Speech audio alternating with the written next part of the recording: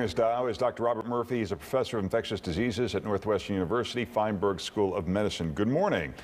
Good morning. So today we're expanding 1B in, in, Illinois, except for some counties, and so people under 65 can get it. But it's supposed to be the honor system. So I don't understand why people don't have to demonstrate they're taking prescriptions for heart or for pulmonary disease. Let's, that would seem like a better system. Yeah. Let's not make it any harder than it already is. This is what the, the goal is. But everybody people are going to jump the state, line and, and cut in line, though. Yeah, everybody, everybody in this state needs to be vaccinated. Uh, we have to, I think if we set up a hurdle, like they do in some states, all that does is slow down the whole process. Let's use the honor system. You know, uh, I'm sure there's some way to figure out if somebody inappropriately took it, but you know, frankly, I don't care. You know, mm. use just get the vaccine get the vaccine out there.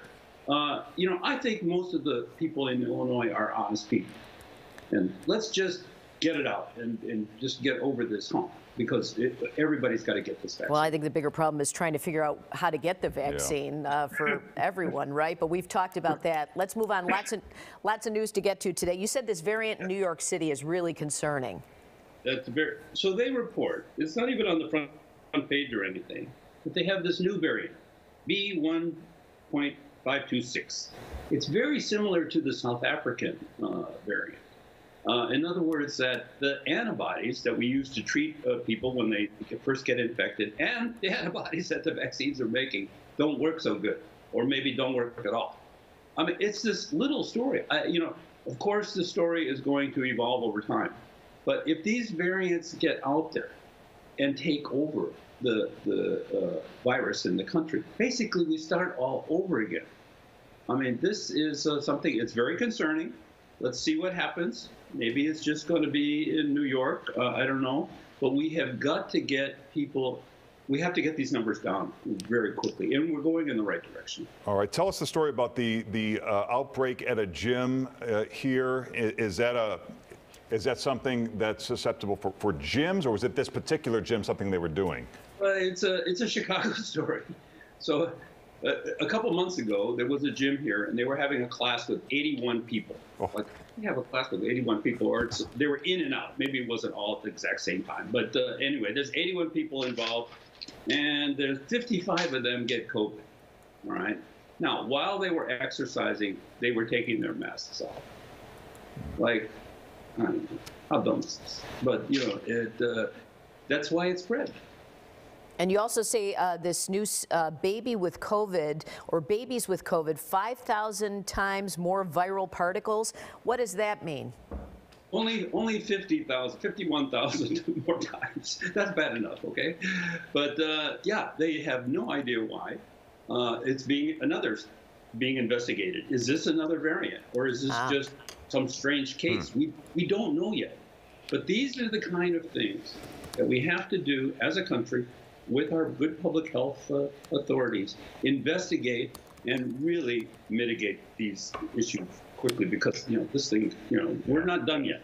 All right, viewer questions now. Our 90 year old relative has had COVID but was given the first shot in the nursing home. She had a fever of 103 afterwards. They are insisting that she get the second shot. We are afraid of how bad her reaction could be. Do you agree she should receive the second shot? Well, fever is very common after a variety of vaccines, even including flu vaccine. So fever by itself, you know, it's just okay. I mean, it happens. Uh, the current recommendation is that she should go ahead and have the second uh, shot. Now, this recommendation may change next week because they're looking at these second shots in people who had COVID. She had COVID in the past. That's like a vaccine itself. And now she's getting first dose of the vaccine. That may be all she really needs, but I can't actually say that for sure right now. So I say with just a fever on the first time, uh, you should take the second. All right, next question. Everyone talks about how great the Pfizer vaccine is, but what about Moderna? I'm 67 years old, received the Moderna vaccine. Is that just as good as Pfizer? These are great vaccines. These have hit the ball out of the park, both of them. They're in the 95% effective range. There's a little bit lower, uh, down to 86% in over 65 with the Moderna.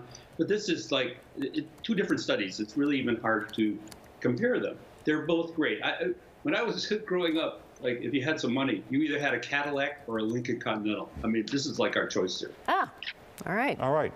And uh, this one says, I know you've addressed this before, but we are getting mixed messages. My husband and I are getting our second vaccine next week. When is it safe for us to visit our nieces and nephews who are in the same area? And can my husband go to the gym? Well, hopefully, don't go to that other gym. yeah. from the other story. But uh, no, so when you have when you're a week or two out from your second dose, you are really pretty protected. Uh, you can loosen up. You can go out. You can, uh, but you're still, you know, because of these variants out there and stuff. You should still wear a mask, and you should still socially distance. But you can interact more freely. Go visit the relative, but you know, be be safe. Wear a mask and, and stay a little bit away from them. And in case you're wondering, 250th appearance for Dr. Murphy today. we appreciate you uh, informing the public, so thanks for joining us Yes, every thank morning. You. I think I worked more this year than you guys. That no is, doubt that about is that. definitely true. Uh, if you have a question for the doctor, uh, head to our Morning News Facebook page, post it there. We'll talk to him again tomorrow. Yeah. Have a good one. A sheet cake from the Jewel coming at uh, appearance 300. Hello, Paul. Good morning. Uh, here's what's going on.